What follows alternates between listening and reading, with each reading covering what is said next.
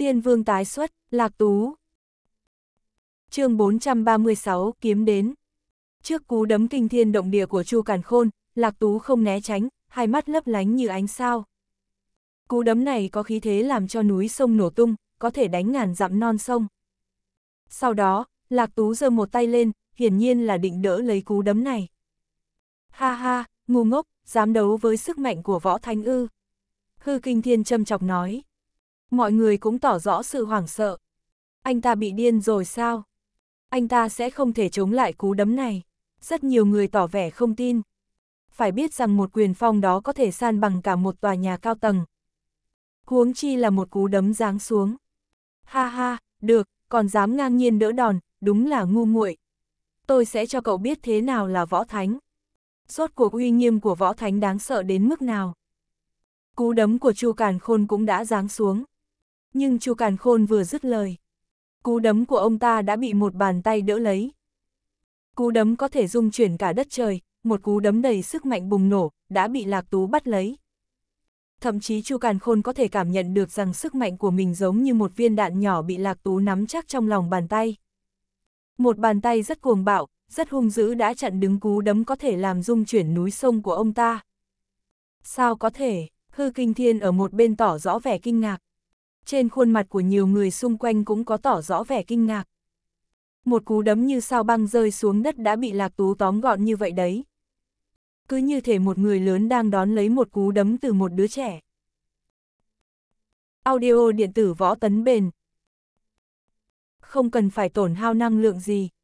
Chu Càn Khôn sướng sờ, ông ta chính là võ thánh đấy.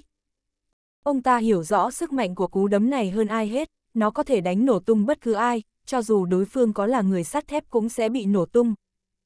Nhưng bây giờ, tất cả uy lực của cú đấm đã bị phong ấn và chặn lại một cách chắc chắn, cánh tay của Chu Càn Khôn run lên, sức mạnh bị chặn lại, ông ta chỉ có thể lùi về sau và phát tiết ra ngoài. Sức mạnh áp đảo và đáng sợ lan dọc từ cánh tay của Chu Càn Khôn đến lưng và bộc phát ra ngoài. Ngay lập tức, cơn sóng thần phía sau Chu Càn Khôn lập tức bị đẩy lùi, sau đó toàn bộ mặt biển nứt ra theo hình nan quạt, thậm chí những chỗ nông trên mặt đất còn bị thủng ra mấy lỗ. Phạm vi ảnh hưởng quá lớn. Âm, um, những con sóng lớn cuộn trào, nổi lên những con sóng nước cuồn cuộn cao hàng trăm mét ở phía xa. Luồng sức mạnh này quá đáng sợ, nhưng ở trong tay Lạc Tú, thậm chí anh còn không di chuyển. Cậu, Chu Càn Khôn lộ rõ vẻ hoảng sợ, ông ta đã đánh giá thấp Lạc Tú, chắc chắn anh có thực lực khác cấp độ với võ thánh. Ông đừng nói mấy lời vô nghĩa, Lạc Tú nhếch miệng đầy châm chọc. Đồng thời, anh nắm chắc tay Chu Càn Khôn bằng một tay, tay kia lại nâng lên. Võ thánh chứ gì, Lạc Tú cười mỉa. Sau đó tắt xuống. Bốp, năm dấu tay xuất hiện rõ ràng trên mặt Chu Càn Khôn. Không khí xung quanh như đông cứng lại, ngay cả bản thân Chu Càn Khôn cũng hoàn toàn choáng váng. Rất nhiều người không dám thở mạnh, nhìn cảnh tượng này với vẻ khó tin.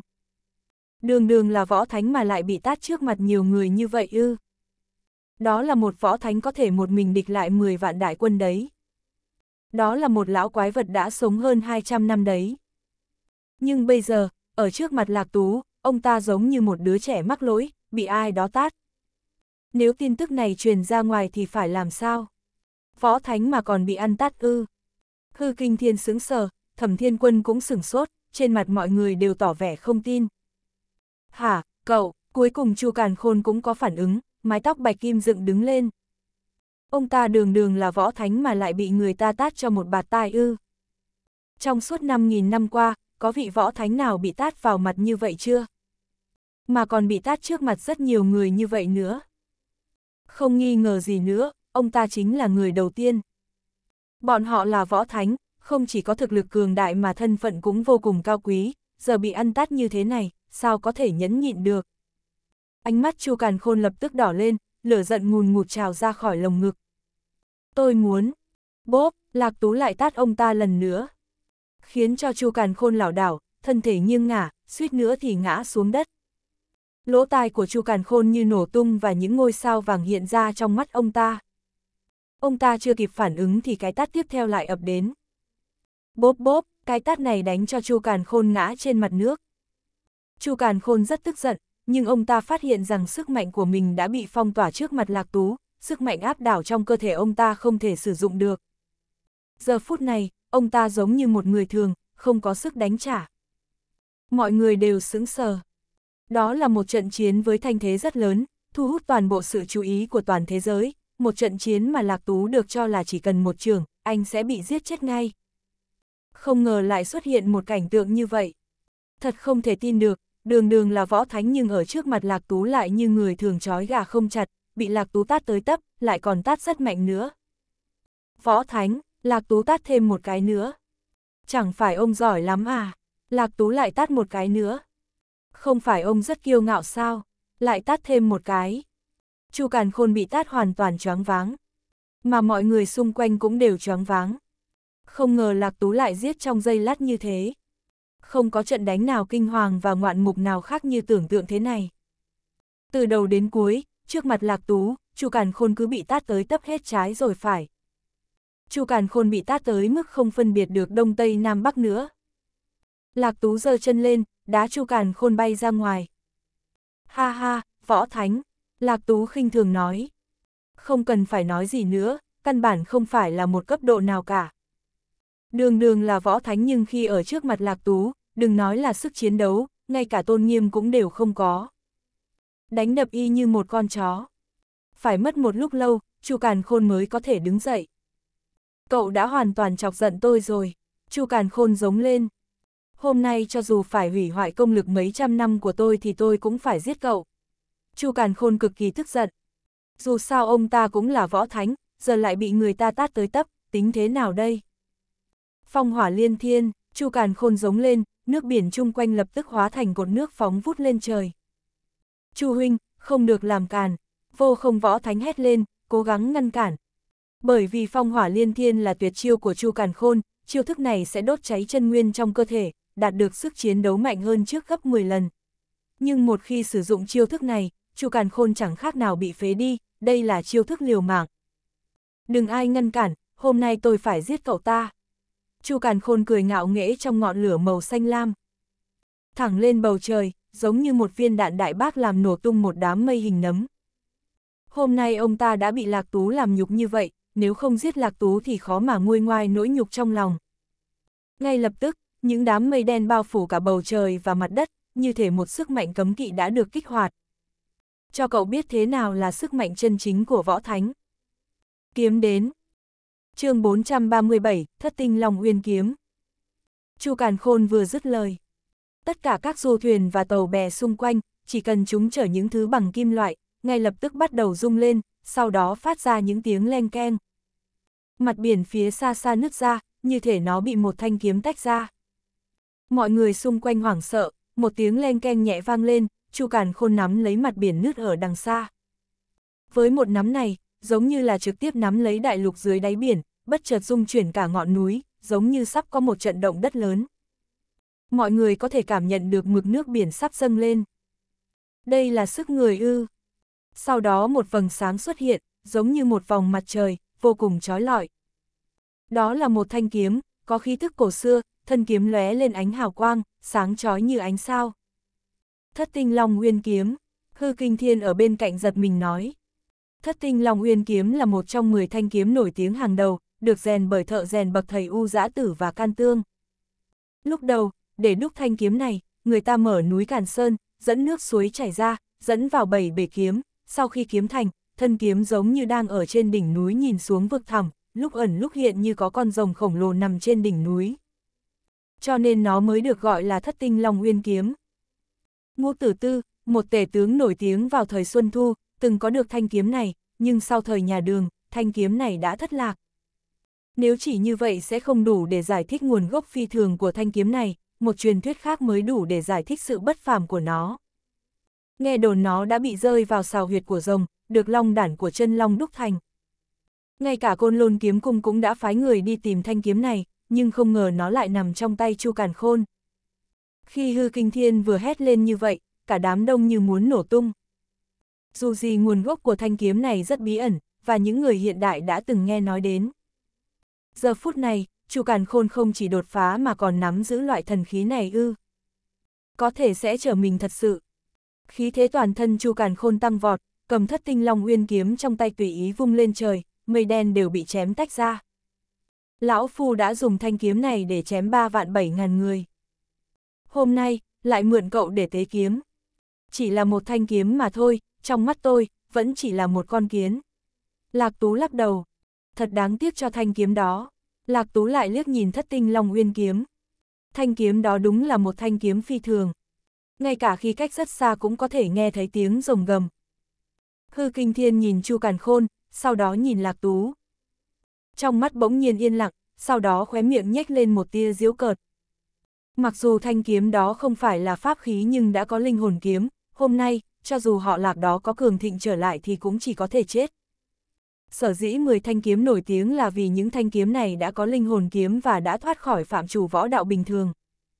Tất cả kim loại xung quanh đều rung chuyển, đó là bằng chứng tốt nhất. Nếu cảnh này được đăng trên Internet, e rằng nó sẽ gây ra một cuộc thảo luận sôi nổi ngập trời. Chân nguyên cuồn cuộn mà đến, ngay cả nước biển cũng bị đóng băng ngay lập tức, không có gió mà tóc của Chu Càn Khôn vẫn bay phập phồng, khí thế cường đại, như thể một kiếm có thể cắt đôi cả thế giới. Một nhát kiếm chém ra, hàng trăm bóng dáng của Chu Càn Khôn xuất hiện bay lượn trên bầu trời. Mỗi tư thế hình dáng của Chu Càn Khôn đều khác nhau, ở mọi hướng, tất cả đều dùng kiếm chém về phía Lạc Tú. Mấy vạn người lại hoảng sợ, đây là võ thánh sao? Kinh khủng đến mức nào đây? Có ai trên thế giới có thể địch nổi chứ? Đây đã là một huyền thoại rồi, nếu hôm nay không được tận mắt chứng kiến thì còn ai dám tin. Vô số đạo kiếm khí lạnh đến cực điểm, dấu vết kiếm khí lộ ra, dễ dàng cắt mở du thuyền và biển cả, khiến nhiều người sợ hãi không ngừng né tránh. Thật là khủng khiếp, nếu loại sức mạnh này thực sự được sử dụng một cách liều lĩnh không kiêng nể gì, e là ngay cả tên lửa đạn đạo cũng không thể địch nổi. Năng lượng kiếm khí có thể nhìn thấy bằng mắt thường, một mảnh trắng xóa giống như thác nước đổ dốc, bao trùm lấy lạc tú. Sau đó tia sáng chói lọi lớn đến mức nước biển nơi đó hóa thành sương mù, hơi nước bốc lên, nước biển từ tứ phía rút đi.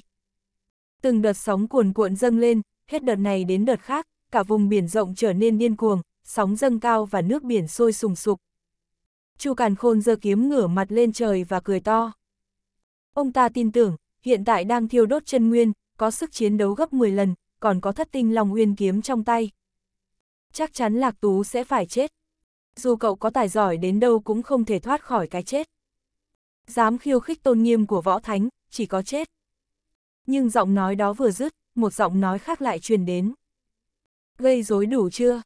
Giọng nói lạnh lùng khiến Chu Càn Khôn sững sờ trong giây lát. Trong giọng nói có sự châm chọc, lại có cả sự nóng nảy. Rồi một bóng người bước ra khỏi làn hơi nước mênh mông kia, bình an vô sự. Sau đó, bước tiếp theo, đi thẳng tới trước mặt Chu Càn Khôn. Sau đó, một cái tát giáng mạnh vào mặt Chu Càn Khôn. Bốp, lần này Chu Càn Khôn bị bắn xuống như một viên đạn đại bác. Sau đó đập thẳng vào bãi cát, tạo thành một cái hố sâu cực lớn. Lạc Tú chậm rãi đi xuống, đi tới cái hố sâu, lạnh lùng nhìn Chu Càn Khôn. Đây là chiêu lợi hại nhất của ông à. Ngay cả tư cách làm tôi di chuyển cũng không có. Lời nói của Lạc Tú ngay lập tức như một chiếc búa thép đập vào trái tim của Chu Càn Khôn. Cái gì, cậu nói cái gì, Chu Càn Khôn tỏ rõ vẻ kinh ngạc. Tôi nói, với thực lực trình độ của ông, ngay cả làm cho tôi di chuyển cũng không có tư cách. Với thực lực trình độ này, mà còn dám nói sẽ phán quyết tội của tôi ư. Lạc Tú chế nhạo. Cậu. Lạc Tú bước vào cái hố sâu và dẫm lên người Chu Càn Khôn, đột nhiên, một âm thanh giòn giã vang lên, trong nháy mắt, toàn thân Chu Càn Khôn đầm điểm máu. Ông ta là võ thánh, có thể một mình mà địch lại 10 vạn đại quân. Nhưng trước mặt Lạc Tú, cho dù làm mọi cách, ông ta cũng không thể đánh trả. Lạc Tú nắm tóc Chu Càn Khôn và nhấc ông ta lên. Sau đó kéo vị võ thánh đương thời này, giống như kéo một con chó chết, đi thẳng tới chỗ đám đông. Rất nhiều người nhìn thấy Chu Càn Khôn bị kéo dài một đường dài toàn máu thì hoảng sợ, sau đó lại nhìn Lạc Tú, bỗng sởn cả ra đầu, không tự chủ được mà lui lại. Đây có phải là một cuộc chiến không? Đây có phải là trận chiến mà mọi người chờ đợi không? Không, hoàn toàn không. Đó chỉ là sự đánh đập từ một phía. Lạc Tú đánh võ thánh. Không hơn. Không có chiến đấu, so tài. Chỉ có một người đánh và một người bị đánh, không hơn. Xung quanh im ắng, không ai dám lên tiếng. Lúc này, vô không võ thánh tái mặt vì sợ hãi, bắp chân của ông ta bắt đầu run rẩy. Ông ta và Chu Càn Khôn cũng chỉ tương đương nhau về thực lực. Chu Càn Khôn bị đánh như một con chó trong tay đối thủ, nếu ông ta chiến đấu với đối thủ, ông ta sẽ chẳng khá hơn Chu Càn Khôn là bao. Lạc Tú lại nhếch miệng đầy mỉa mai. Đi thẳng về phía vô không võ thánh, ném Chu Càn Khôn như ném rác tới trước mặt vô không, rồi nói một câu. Không phải ông đang muốn đòi lại công bằng cho nhà họ thẩm à? Nào, đến đây. chương 438, Quy tắc. Đòi lại công bằng cho nhà họ thẩm ư. Quả thật trước đây ông ta định làm như thế, hơn nữa mục tiêu còn là toàn bộ gia sản của Lạc Tú, dù gì tiền của người giàu có cũng đủ khiến võ thánh như ông ta phải động lòng. Cộng thêm ban nãy ông ta cũng đã nói trước mặt mọi người rằng, hôm nay phải trừng trị Lạc Tú. Nhưng bây giờ thì sao? Ông ta có dám không? Cậu Lạc, tôi. Bốp, Lạc Tú liền tát vào mặt võ thánh vô không, khóe miệng của ông ta nhất thời chảy máu. Có thể nhìn thấy rất rõ, võ thánh vô không vốn định nổi giận theo bản năng, nhưng đã kiềm lại. Ông ta là võ thánh, làm sao có thể bị người khác tát ngay trước mặt. Hơn nữa, bàn về tuổi tác, ông ta còn lớn hơn cả Lạc Tú, nhưng bây giờ lại bị một chàng trai tát vào mặt. Nhưng ông ta không dám nổi giận, bởi vì thực lực của đối phương hoàn toàn không phải là thứ mà ông ta có thể ngăn cản. Chu Càn Khôn là một ví dụ điển hình. Bây giờ ông ta đã cực kỳ hối hận. Sớm biết Lạc Tú có thực lực càn quét võ thánh, có nói thế nào ông ta cũng sẽ không đến tranh giành vũng nước đục này. Mặc dù võ thánh vô không đã nhẫn nhịn, nhưng không có nghĩa là Lạc Tú sẽ bỏ qua cho ông ta.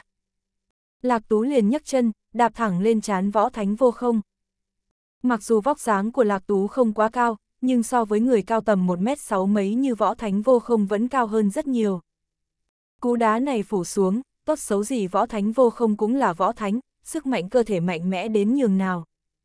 Nhưng khi cú đá của Lạc Tú giáng xuống, ông ta đã ngã xuống đất ngay.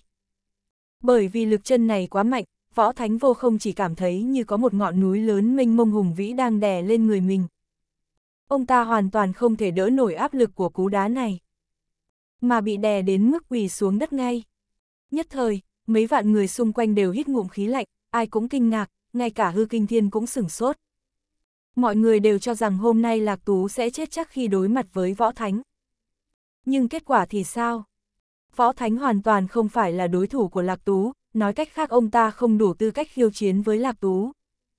Phi Long đứng đằng xa nhìn Lạc Tú bằng ánh mắt vô cùng phức tạp, mới đầu khi tiếp xúc với Lạc Tú, anh ta chỉ cho rằng anh là võ giả dân gian, không đáng được nhắc đến. Nhưng cuối cùng anh ta phát hiện ra người ta là tông sư, không dễ gì anh ta mới chấp nhận thân phận này, ai dè lại tiếp tục phát hiện người ta đã là cường giả hóa cảnh. Đợi đến khi anh ta khó khăn lắm mới chấp nhận thân phận cường giả hóa cảnh này, thì ngay cả võ thánh người ta cũng có thể đánh bại. Rốt cuộc giới hạn của Lạc Tú nằm ở chỗ nào? Nói cách khác rốt cuộc thực lực của Lạc Tú đã đạt đến trình độ nào? Phi Long phát hiện, dường như anh ta mãi mãi chỉ có thể nhìn thấy phần nổi của tảng băng trôi trên người Lạc Tú. Anh ta sẽ không bao giờ nhìn thấu người đàn ông này. Lạc Tú thong thả rời mắt nhìn Thẩm Thiên Quân. Đây chính là chỗ dựa của các ông à. Lạc Tú chế nhạo. Sắc mặt của Thẩm Thiên Quân đã xám xịt, hai mắt đờ đẫn, trong đôi mắt trống rỗng tràn ngập vẻ hối hận và tuyệt vọng, như mất đi linh hồn, chỉ còn lại thân xác trống rỗng tê dại. Bọn họ vốn cho rằng chỉ cần bám vào võ thánh thì có thể giết chết Lạc Tú, giành lại tất cả mọi thứ trong nhà họ thẩm, thậm chí có thể trở thành nhà quyền thế số một trong nước. Dù gì đó cũng là võ thánh. Nhưng bây giờ thì sao? Trước mặt Lạc Tú, võ thánh chẳng là gì cả. Ông ta đã bị tát trước mặt mọi người, đừng nói là đánh trả, thậm chí còn không dám nói nửa chữ tàn nhẫn. Hai vị đại võ thánh, một người coi như đã bị tàn phế, bị Lạc Tú ném thẳng xuống đất, người còn lại thì đang quỳ ở đó, chẳng thể nhúc nhích. Bởi vì chân của Lạc Tú đang dẫm lên bả vai của võ thánh vô không. Võ thánh vô không dùng nội lực chân nguyên để đỡ lấy bàn chân này, nhưng cả người ông ta đang run rẩy, sắc mặt trắng bệch, rõ ràng một bàn chân của Lạc Tú đã nặng như núi Thái Sơn, ông ta hoàn toàn không thể đỡ nổi. Người nhà họ thẩm ngơ ngác chứng kiến cảnh tượng này, đến bây giờ rất nhiều người trong số bọn họ vẫn chưa phản ứng kịp, rốt cuộc chuyện này là sao? Tại sao võ thánh uy chấn thiên hạ, có thể sánh ngang với 10 vạn đại quân, lại yếu ớt đến mức ngay cả cơ hội để đánh trả cũng chẳng có khi đứng trước mặt lạc tú? Mẹ của tôi đã nhà họ thẩm các người cơ hội cuối cùng, nhưng tiếc rằng các người lại không chịu trân trọng. Lạc tú lắc đầu nói. Câu nói này càng khiến thẩm thiên quân hối hận hơn, chẳng khác nào thanh kiếm sắc bén đâm mạnh vào trái tim của ông ta. Nỗi hối hận vô tận nhất thời đánh sập thẩm thiên quân, ông ta liền ngồi bệt xuống đất. Đúng vậy, ban nãy bọn họ vẫn còn một cơ hội. Nhưng bọn họ đã bỏ lỡ nó. Bọn họ lại đứng nhầm đội. Toàn bộ người nhà họ thẩm đều mang vẻ mặt suy sụp, nhà họ thẩm bọn họ tiêu đời rồi. Cộng thêm biểu hiện lúc này của Lạc Tú càng khiến bọn họ hối hận hơn. Không vì lý do nào khác, bọn họ từng có cơ hội trèo lên cây đại thụ Lạc Tú này. Nhưng bọn họ lại hết lần này đến lần khác bỏ lỡ cơ hội này. Ngay cả võ thánh cũng không phải là đối thủ của Lạc Tú, chuyện này đáng sợ đến nhường nào. Thành tựu tương lai của chàng trai này đủ dẫn dắt nhà họ thẩm đi lên đỉnh cao. Nhưng tiếc rằng, quyết định của thẩm thiên quân và nhà họ thẩm lại từng bước đẩy nhà họ thẩm xuống vực sâu. Nỗi hối hận vô tận đã khiến thẩm thiên quân rơi lệ. Đáng tiếc, ngay cả hội cuối cùng của bọn họ cũng đã biến mất. Hàng vạn người xung quanh đều vô cùng kinh ngạc, không ai ngờ kết cục lại như vậy. Cục diện đã nghiêng về một phía. Đến bây giờ rất nhiều người vẫn chưa thể chấp nhận sự thật này. Bọn họ hoàn toàn không dám tin rằng võ thánh uy chấn thiên hạ lại yếu ớt nực cười như một đứa trẻ khi đứng trước mặt lạc tú. Rất nhiều người đều biết rõ, một khi tin tức này truyền ra ngoài, chắc chắn sẽ gây ra hiệu ứng chấn động thiên hạ. Bởi vì mọi người đều đã đoán sai. Sau khi xem đoạn video đó, hầu hết mọi người đều cho rằng, Chu Càn Khôn thắng là cái chắc, còn Lạc Tú chỉ có một con đường chết. Một số ít người lại cho rằng cho dù Lạc Tú không thể thắng, có lẽ cũng có thể đánh một phen với đối phương, nói không chừng vẫn còn cơ hội. Nhưng bây giờ kết cục này lại nằm ngoài tầm dự đoán của mọi người. Trước mặt Lạc Tú, hai vị đại võ thánh hoàn toàn không có sức để đánh trả. Đến bây giờ, dường như Lạc Tú vẫn chưa thể hiện thực lực thực thụ của mình. Kết quả này đã vượt xa dự đoán của mọi người. Sắc mặt của Bạc Tuấn và Hư Kinh Thiên đều rất khó coi, bởi vì đây không phải là kết cục mà bọn họ mong muốn. Bọn họ đến đây để xem trò cười của Lạc Tú, đợi Lạc Tú hối hận, ai dè lại xuất hiện cục diện này. Tất nhiên Lạc Tú sẽ không để tâm đến mấy chuyện này cho lắm. Được rồi, mọi chuyện cũng nên kết thúc rồi, hai ông định xét xử tôi ư. Còn muốn uy hiếp người nhà tôi, trong mắt Lạc Tú hiện lên tia lạnh lẽo. Hôm nay hai người này sẽ chết chắc. Nhất là võ thánh vô không. Cảm nhận được sát khí trên người Lạc Tú, võ thánh vô không và Chu Càn Khôn đều sửng sốt. Cậu muốn giết chúng tôi ư? Chu Càn Khôn ngẩng đầu lên nhìn chằm chằm Lạc Tú. Chẳng lẽ hai ông vẫn còn lời trăng chối gì à? Lạc Tú thở ơ nói. Chúng tôi đã đầu hàng rồi, cậu làm như vậy là không tuân theo quy tắc giang hồ. Võ Thánh vô không lên tiếng. Chẳng có ai là không sợ chết, người càng sống lâu thì càng quý trọng tính mạng của mình. Quy tắc ư, Lạc Tú nhướng mày, hơi buồn cười nhìn hai người này. Lạc mỗ làm việc theo quy tắc của riêng mình. Cậu không được giết chúng tôi, hơn nữa cậu cũng không giết nổi. Cậu đừng quên rằng, hôm nay còn có sở tài quyết ở đây, sở tài quyết vũ lực sẽ nhanh chóng đến đây thôi. Chu Càn Khôn hơi ỉ thế mỉa mai chương 439, ông cứ việc gọi người đến. Chu Càn Khôn rất vui mừng. Sư tử vồ thỏ bằng tất cả sức lực, mặc dù ông ta vẫn chưa tỉnh ngộ. Ông ta vốn định mời ông trùm các giới, ví dụ như sở trưởng sở tài quyết vũ lực, nữ thần tử vong bá chủ quốc tế, hoàng đế ngầm số một cao ly và các nhân vật tiếng tăm lừng lẫy khác, cùng đến chứng kiến trận chiến này. Bởi vì ông ta muốn mượn trận chiến này để tái xuất giang hồ, không chỉ cho người thế tục trong nước biết sự khủng khiếp của võ thánh, mà còn để cho toàn bộ châu Á biết võ thánh đã quyết định không bật vô âm tín nữa. Đúng lúc hôm nay đã trở thành át chủ bài của ông ta. Bởi vì suy cho cùng, mấy người này đều do ông ta mời đến, chắc chắn bọn họ sẽ giúp ông ta. Huống chi là sở trưởng sở tài quyết vũ lực. Địa vị và thân phận của lão tương đương với minh chủ võ lâm ngày xưa. Gần như không cần phải nói gì nữa, chắc chắn 100% lão sẽ đứng về phía ông ta. Cậu nên biết rõ chúng tôi đều là võ thánh, đã kết bạn mấy trăm năm, chắc chắn sở trưởng sở tài quyết sẽ đứng về phía chúng tôi. Vậy thì sao, cho dù ông ta đứng về phía hai ông thì sao chứ? Lạc Tú bị hai người này chọc cười, cho đến bây giờ hai người này vẫn chưa hiểu rõ tình huống à.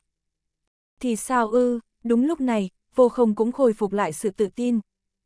Trước tiên không nói đến thực lực của sở trưởng sở tài quyết đáng sợ đến nhường nào, mà chỉ riêng võ thánh của sở tài quyết vũ lực, nếu chúng tôi cùng hợp sức trừng phạt cậu, chắc cậu cũng biết hậu quả rồi đấy. Trước đây nhờ 10 vị võ thánh, Hoàng đế Quang Vũ có thể giành lấy Giang Sơn từ tay của Vương Mãng, lập ra Vương Triều Đông Hán. Chu Càn Khôn lạnh lùng nói. Mặc dù bây giờ không có 10 vị võ thánh, nhưng cũng có gần 8 vị. Tôi không tin một mình cậu có thể gánh nổi lửa giận của 8 vị võ thánh. Võ thánh vô không tiếp lời, như thể bây giờ, bọn họ đã nắm chắc được phần thắng. Quả thật, nếu thời nay không xuất hiện tu pháp giả, ai dám gánh nổi sự trừng phạt của tám vị võ thánh. Trừ phi sử dụng vũ khí nóng cỡ lớn. Nhưng liệu người bình thường có năng lực đó không? Vừa dứt lời, sắc mặt của mọi người đều xa sầm. Bọn họ đều đã quên mất, dù là Chu Càn Khôn hay Võ Thánh vô không đều là người của sở tài quyết vũ lực. Chính vì Võ Thánh cực kỳ hiếm, có thể đếm trên đầu ngón tay, hơn nữa đa số đều là bạn bè gần 100 năm, chắc chắn sẽ cực kỳ đoàn kết. Nếu Lạc Tú thật sự dám giết người, chắc chắn toàn bộ Võ Thánh sẽ cùng hợp sức đối phó Lạc Tú. Lạc Tú có thể đánh bại hai vị Võ Thánh, nhưng không có nghĩa là anh có thể đánh bại toàn bộ Võ Thánh cùng hợp sức. Dù gì một người có thể đánh đến đâu thì hai tay cũng khó mà địch lại bốn chân, dù đánh đấm loạn xả vẫn có thể đánh giết chết sư phụ. Huống chi là ở cấp bậc của võ thánh. Quan trọng nhất là còn có sở trưởng sở tài quyết vũ lực, nghe nói vị sở trưởng này mới là cao thủ đứng đầu võ đạo thời nay. Lão đã đạt đến trình độ xuất quỷ nhập thần, có bước tiến mới. Trước giờ lão luôn rất khiêm tốn, nhưng người càng khiêm tốn càng cực kỳ đáng sợ. Nếu ở trong tay lão, Chu Càn Khôn sẽ không đỡ nổi ba chiêu. Dựa vào sự so sánh này, ít nhất cũng là cao thủ tương đương với Lạc Tú, thậm chí còn lợi hại hơn Lạc Tú. Dù gì số tuổi của người ta cũng bày ra đó, là người còn sống từ thời nhà Minh. Đúng là lão quái vật trong lão quái vật. Khi thẩm thiên quân nghe thấy câu nói này, đôi mắt vốn đang thất thần tê nhất thời sáng rỡ. Có lẽ bọn họ vẫn còn hy vọng, cho dù không còn hy vọng, nhưng nhìn thấy Lạc Tú bị giết, bỏ mạng tại đây, cũng có thể khiến bọn họ vô cùng vui sướng. Nhưng từ đầu đến cuối, trong mắt Lạc Tú luôn hiện lên tia khinh bỉ.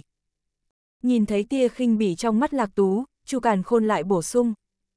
Ngoài những lời tôi vừa nói ra, chỉ cần sở tài quyết vũ lực ra lệnh, e rằng toàn bộ võ giả trong nước, thậm chí là một số võ giả ngoài nước cũng sẽ dũng cảm quên mình tới giết cậu. Dù gì nói thẳng ra, lão cũng đại diện cho minh chủ võ lâm. Chu Càn Khôn tràn đầy hung ác nói. Bây giờ, cậu còn dám giết chúng tôi nữa không? Võ Thánh Vô không cũng mang vẻ mặt chẳng hề kiêng rẻ nói. Họ lạc kia, quả thật cậu rất lợi hại, nhưng vậy thì sao chứ? Chẳng lẽ cậu chưa từng nghe qua, trên giang hồ thân bất do kỷ à? Cậu chưa từng nghe qua, đừng hống hách với lão giang hồ à? So với lão giang hồ chúng tôi, cậu vẫn còn kém xa. Chỉ một câu nói của chúng tôi cũng đủ khiến cậu đối mặt với kẻ địch ở khắp mọi nơi. Võ Thánh vô không cũng lên tiếng diễu cợt. Ha ha, hai người thật ngu ngốc, Lạc Tú nhấc chân ra khỏi bả vai của Võ Thánh vô không. Rồi xoay người liếc nhìn đám đông. Anh đột ngột quay đầu lại, ánh mắt tràn ngập sát khí, giống như thanh kiếm sắc bén nói. Hai người đang uy hiếp tôi à? Kẻ địch ở khắp mọi nơi ư? Được, vậy thì hôm nay tôi sẽ nhắc lại lần nữa trước mặt mọi người. Mấy người có thể lan truyền câu nói vào hôm nay của tôi ra bên ngoài. Câu nói này của Lạc Tú giống như sấm sét, nổ vang bên tai mọi người ở xung quanh. Tôi, Lạc vô cực. Ai thấy tôi chướng mắt thì có thể đến tìm tôi. Ai muốn đối đầu với tôi thì cứ việc tới thử xem. Tôi không nhắm vào các vị ngồi ở đây, mà là cả nước. Thậm chí là cả thế giới. Kẻ địch ở khắp mọi nơi ư. Ha ha, Lạc vô cực tôi đã từng sợ sệt hay chưa? Lạc Tú cười ngông cuồng. Ngông cuồng. Thật sự quá ngông cuồng chẳng khác nào anh đang khiêu chiến với cả nước. Trên đời này ai dám nói ra những lời như vậy. Dù là sở trưởng sở tài quyết vũ lực kia cũng không dám nói như vậy.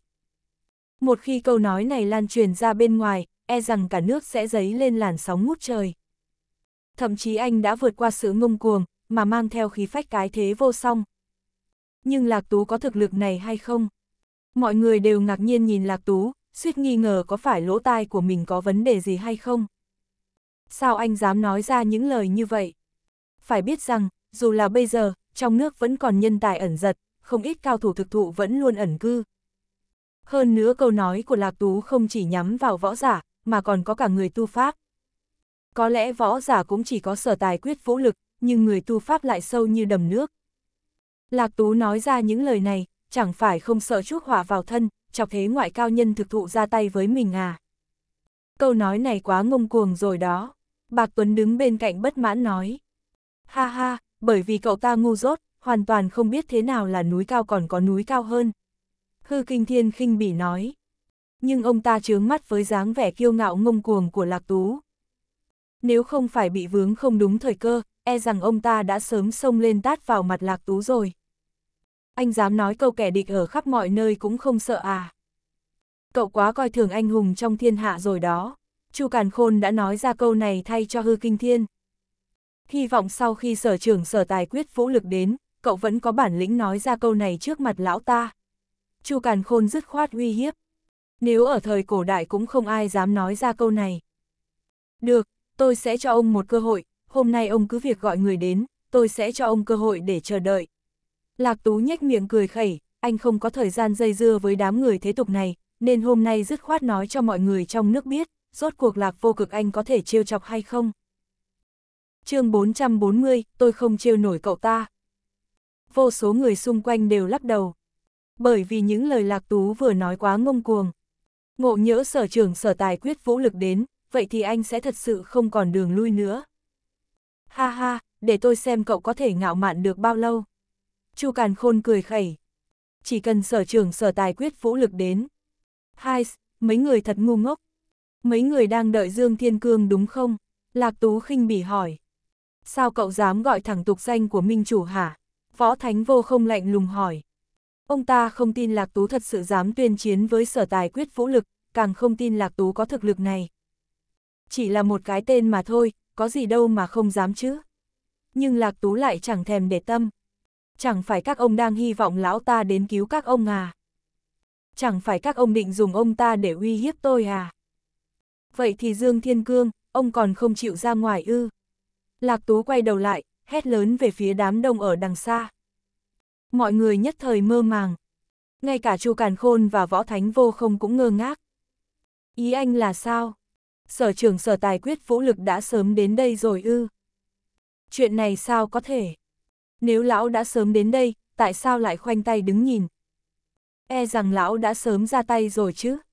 Nhưng Lạc Tú vừa mới dứt lời, đằng sau đám đông, một ông lão đội mũ nở nụ cười cay đắng, vươn tay gỡ mũ xuống, vẻ mặt ba phần bất đắc dĩ bảy phần sợ sệt, cuối cùng cũng từ tốn đi về phía Lạc Tú. Ông lão này không phải ai khác, mà chính là Dương Thiên Cương. Thật ra lão đã sớm đến đây rồi, hơn nữa còn đến từ lúc mở màn. Lão đã chứng kiến trận chiến này từ đầu đến cuối, rõ ràng kết quả này không khiến lão cảm thấy bất ngờ. Dù gì lão cũng đã giao đấu với Lạc Tú. Nếu lúc đó Lạc Tú không nể tình thì bây giờ lão đâu còn sống nữa. Huống hồ kể từ khi giao đấu với Lạc Tú, lão đã không còn muốn đến đây nữa. Lão đến đây để làm gì? Lão bị ngứa đòn à? Lạc vô cực sẽ sợ một sở tài quyết vũ lực nhỏ nhoi ư. Nhưng dù gì thân phận của lão cũng đặc biệt, không thể không đến, nhưng rõ ràng lão không muốn lộ mặt. Ai dè cuối cùng lão vẫn bị liên lụy kéo vào. Nhìn thấy Dương Thiên Cương bước ra, đừng nói là võ thánh vô không và chu càn khôn đều sướng sờ. Mà ngay cả hàng vạn người xung quanh cũng sửng sốt. Quả thật lão đã sớm đến đây rồi. Vậy thì tại sao ban nãy lão lại không ra mặt giúp đỡ? Tại sao lão lại không bước ra cứu chu càn khôn và võ thánh vô không? Dù gì bọn họ cũng là bạn cũ mà. Lão Dương, ông, chuyện này, võ thánh vô không khó hiểu hỏi.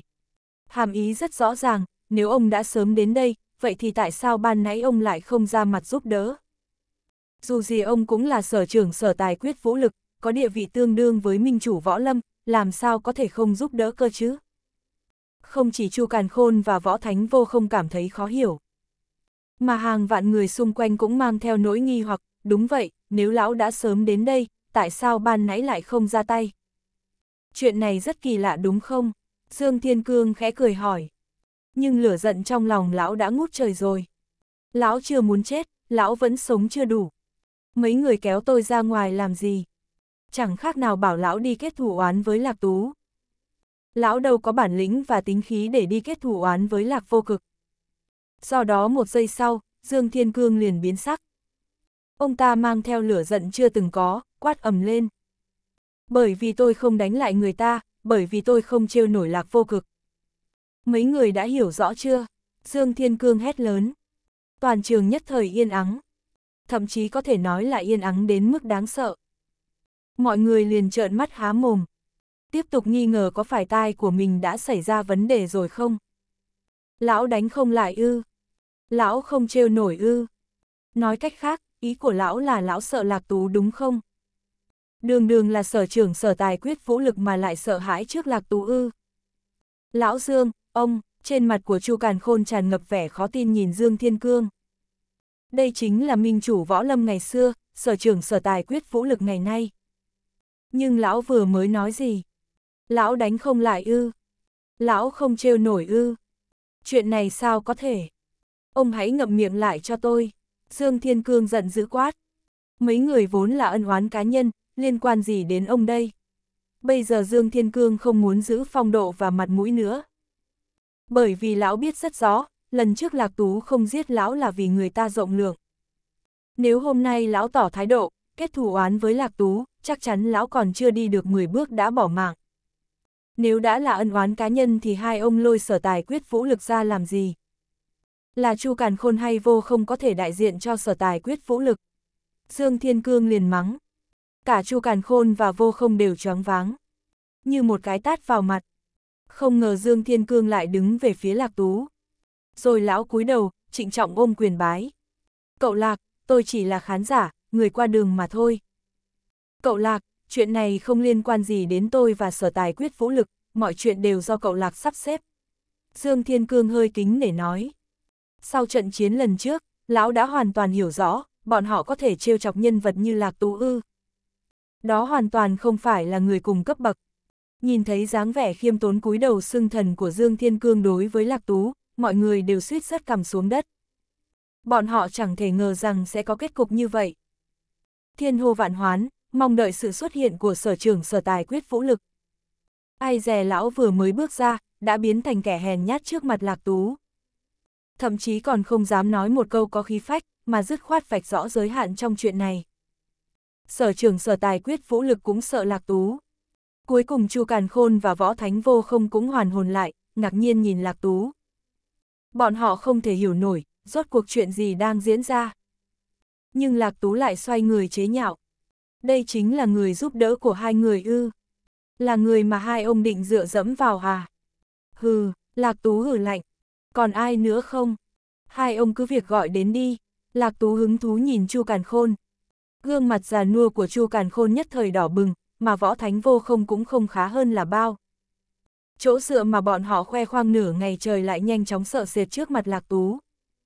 Thậm chí bây giờ còn cúi đầu, không dám ngẩng đầu lên. Nhưng Chu Càn Khôn đã nhanh chóng lấy lại sự tự tin. Bởi vì ông ta vẫn còn người thay thế cuối cùng. Cũng chính là người thay thế đáng sợ nhất. Được, cậu đừng có mà hối hận. Chu Càn Khôn mở miệng nói. Cậu hãy đợi tôi gọi điện thoại. Chu Càn Khôn lấy điện thoại ra. Ông cứ gọi đi, tôi cho ông cơ hội đấy. Lạc Tú chẳng hề để tâm nói. Điện thoại nhanh chóng được kết nối, Chu Càn Khôn kể lại ngắn gọn răm ba câu rồi cúp máy. Sau đó, ánh mắt của ông ta mang theo vẻ tự tin chưa bao giờ có. Cậu đang tự tìm đường chết thì đừng oán trách người khác. Chu Càn Khôn lại uy hiếp. Lần này người mà ông ta gọi đến không phải ai khác, mà chính là bá chủ quốc tế. Lai lịch của nhân vật này vô cùng lớn. Dù gì bốn chữ bá chủ quốc tế này cũng đủ chứng minh thân phận của đối phương. Họ lạc kia, cậu cứ chờ chết đi. Để tôi xem khi bá chủ quốc tế nữ thần tử vong đến đây, cậu còn dám ngông cuồng như vậy nữa không? Chu Càn Khôn cố ý hét lớn. Audio điện tử võ tấn bền. Hết chương 440